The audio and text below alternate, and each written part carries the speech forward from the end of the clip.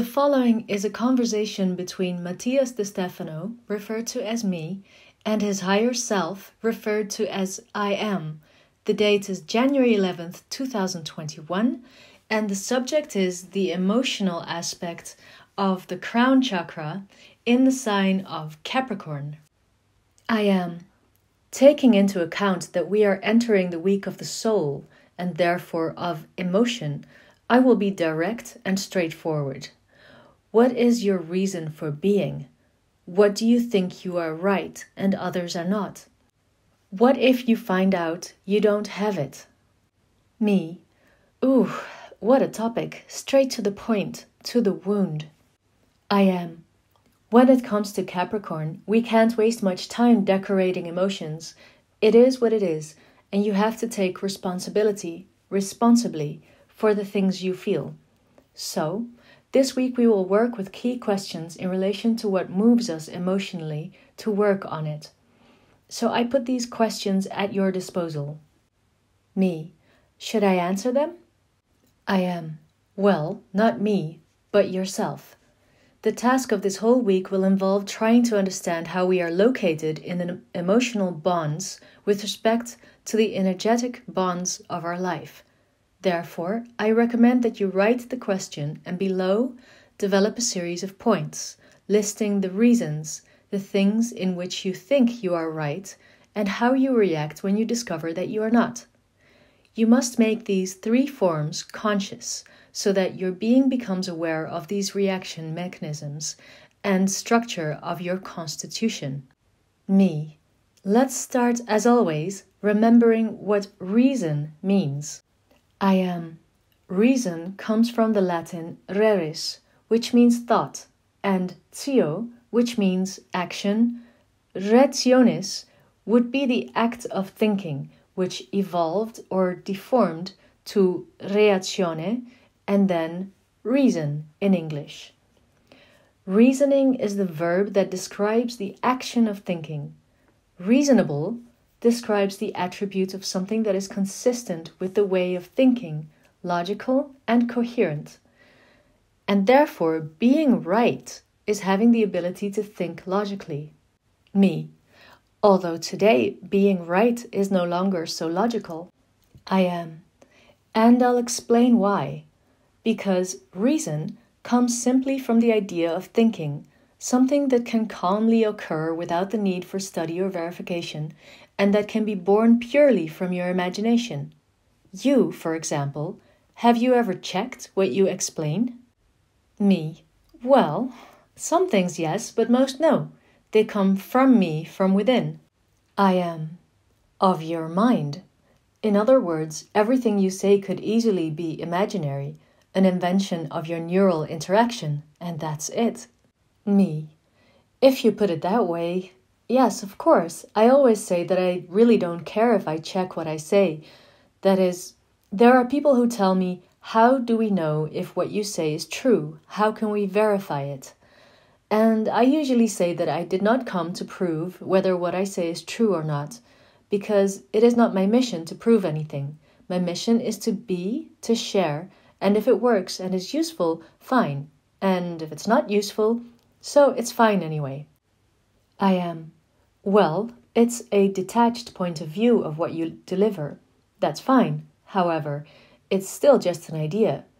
Is your idea of detachment from truth a product of your core essence or your ego trying to survive? Me.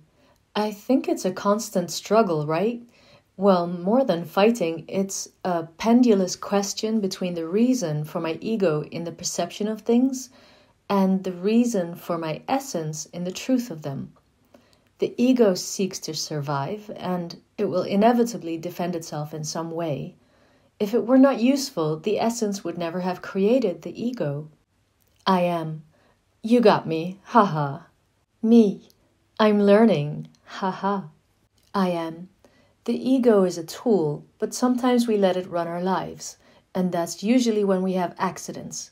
The ego is a kind of driver with a drop down map, when the essence is the GPS. When the ego tries to see the way or say, calm down, I know where we are, things always go wrong and you end up lost in the middle of a dangerous place. Me. It's happened to me several times. I am. The same happens with reason. The line that separates the thought of the ego and the thought of the essence is very thin, since both are maps, but with different ways of approaching them. You did not answer my question. Me. Well, many times I realize that I ignore some information on purpose due to the need to maintain my integrity. It's strange because I know with all my being that I didn't come to prove anything to anyone, that I don't care, and that I came to share what I know, what I feel, what I experience, and that's it. I don't intend to go crazy in this life wasting time in being believed. And that's when the ego sometimes takes control in the concept, I don't care. When you hear more and more things in the world, you realize that people want to believe anything and that no matter how much you focus all your energy on wanting to explain certain truths or clarify and justify what you know or say, their minds will not change. Sometimes I think that the best thing is to share without wanting to convince anyone of anything, and from there, each one will take what is useful and make their own discernment. I am. I don't care can become a way of justifying whatever comes to mind. The ego, defending your integrity, can close off learning new concepts that nourish your own vision.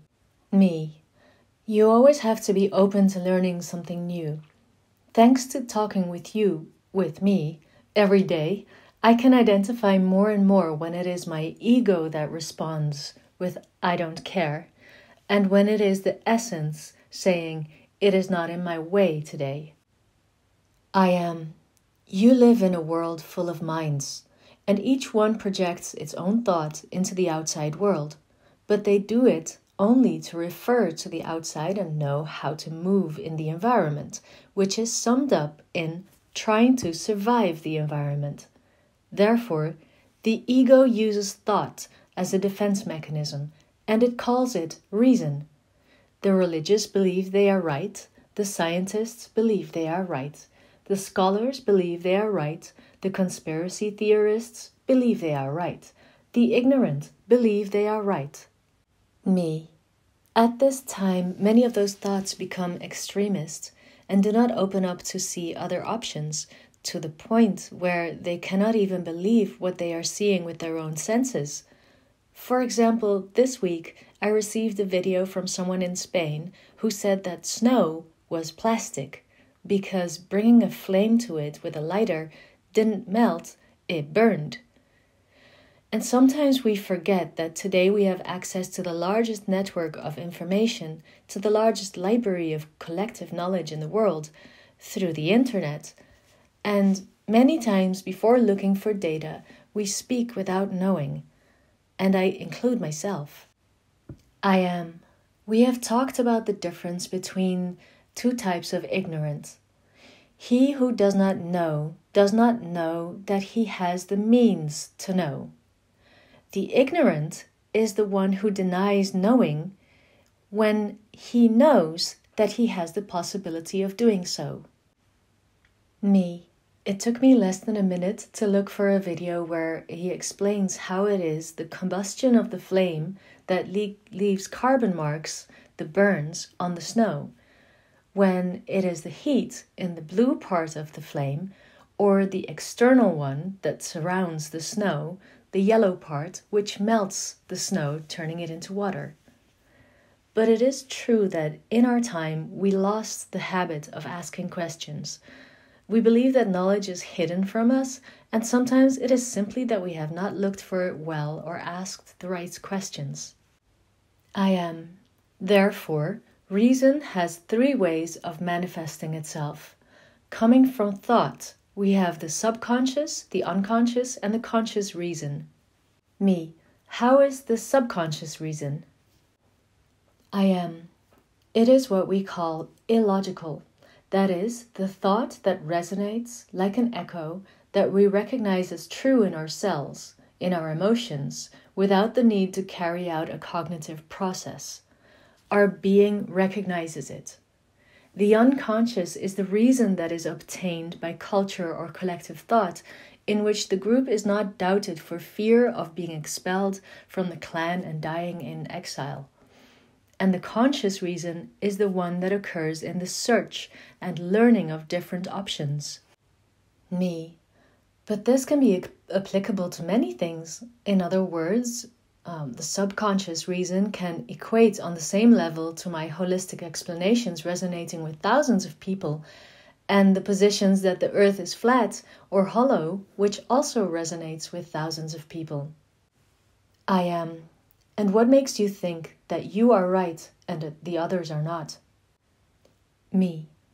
The data that is data from thousands of years ago from mathematicians, geologists, astronomers, architects, scientists from different cultures, and empirical data such as the rotation of stars, planets, the solstices and equinoxes, or simply getting on a flight from Sydney to Buenos Aires or South Africa, looking at Antarctica through the window, something that I have done myself and anyone can do. I am if we enter into the philosophical aspects of reason, we could say that neither you nor they are right. Or all of them are, since each one sees the world with the reality of their own brain.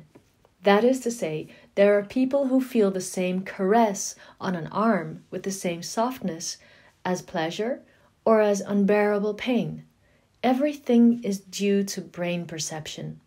The external world can never be exact if you perceive it with the eyes of your brain perception. Me. But there are concrete data, that is, beyond the perception of things. The experiments contrasted by hundreds of individuals make up a collective truth. I am. According to that collective truth, everything you know is nothing more than well managed schizophrenia. Me. Good point. I am. As you will see, nobody is right, but everyone is right, and a collective reason shapes an idea of the group.